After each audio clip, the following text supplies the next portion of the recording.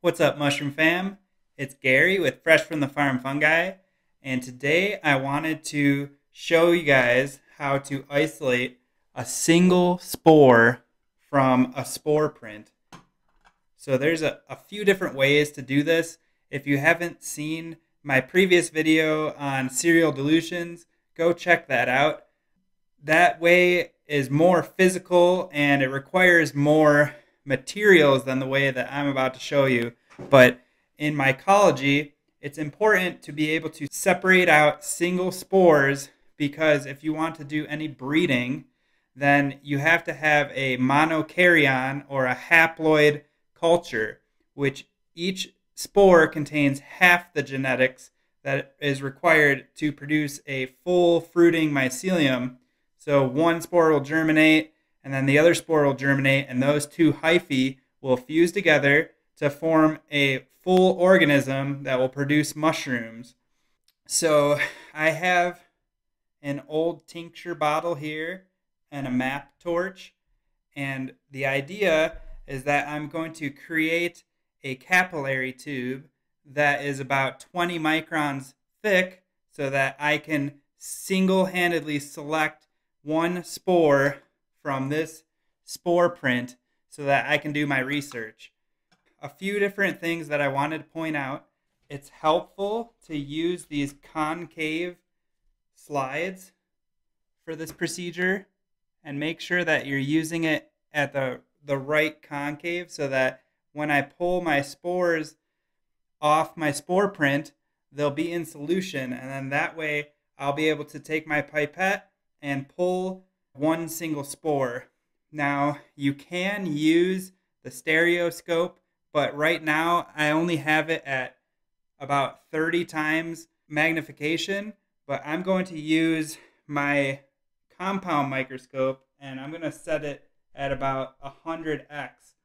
And that way I'll get a good visual on a single spore and hopefully they don't clump.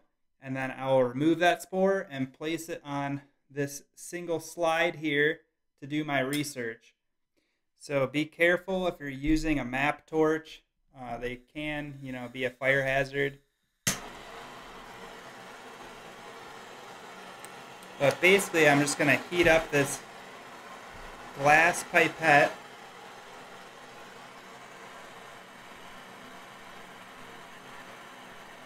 to where that tip gets red hot.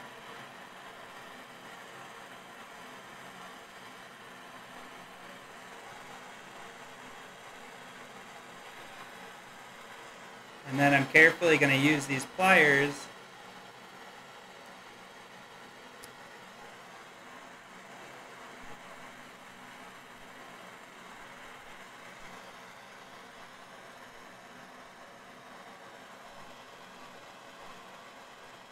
and try to work it into a long capillary tube.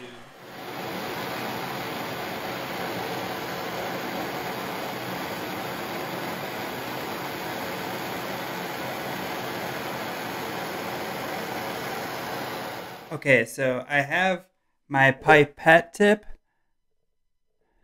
narrowed down. Um, hopefully that's a 20 microns, but it's pretty blunt. Usually I like it a little bit longer. You can also buy capillary tubes, but this is just what I had on hand. So the next step is going to be transferring the spores from the spore print onto a glass slide. And once again, I like to use the concave slides for this part. So I'll go ahead and take some sterile water and just kind of agitate some of these spores off the spore print. All right, so I'm just gonna agitate some of these spores off the print here.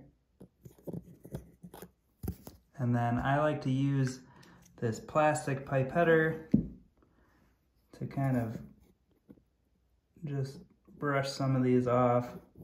And I'm trying to create a nice dilution that will go onto this concave slide.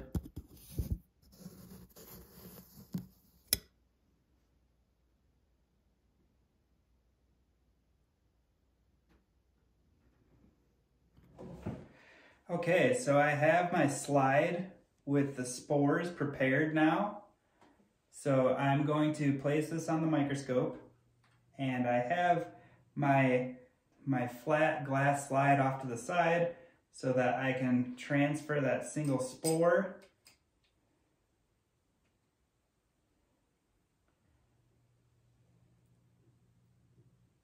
Now I'm gonna go ahead and use the microscope camera to focus in on a cluster of spores. So I'll switch over to the camera view. All right, so I'm opening up my camera and you can see these spores starting to come into focus and it's a little bit wobbly, but I can work with that.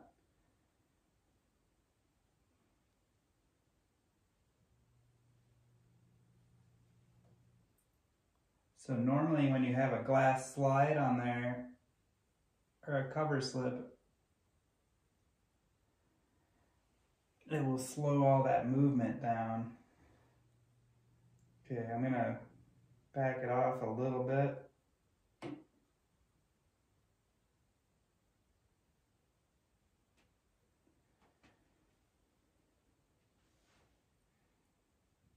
See if we can get some of these spores in focus.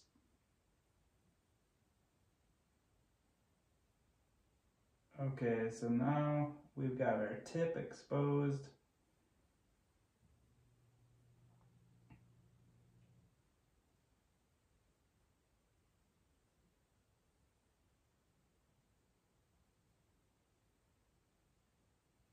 And I'm going to try to center that pipette tip and then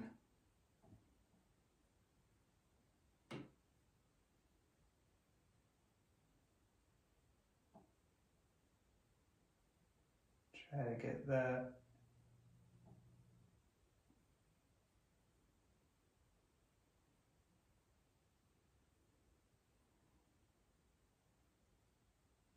and you can see there's a little cluster of spores there so I'll just aspirate those out.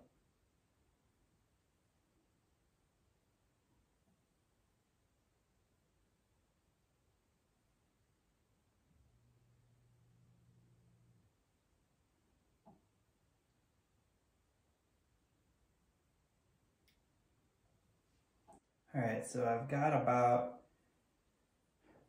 0.2 mils and I'm just gonna drop it out on my slide.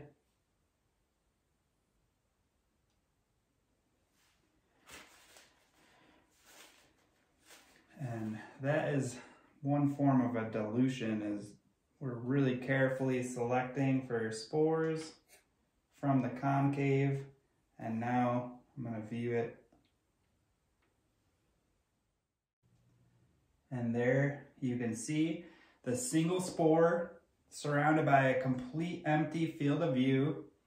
And this is really helpful if you would be able to watch this germinate or you can place it into a petri dish and then that would be a verified single haploid isolate. Now, a few things about using these glass pipettes is um, if when you're pulling that, that glass out to thin it, Sometimes it will pinch, so you can use the pliers, um, the little cutting edge, and then snip that end, and then that way you'll be able to move liquids in and out easier. You can also use a loop, but I prefer the pipettes because the tip, you can really narrow it down where the loop, you can get a one micron, but oftentimes it will scrape that spore and it could potentially lyse that cell.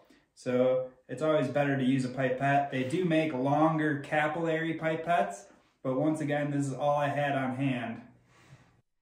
I hope you enjoyed that video on microscopy. Subscribe if you're looking forward to more mycology videos like these. Give us a thumbs up. It really helps spread the word. If you're looking for mushroom cultures, check out our Etsy shop, Fresh Fungi. And until next time, much love.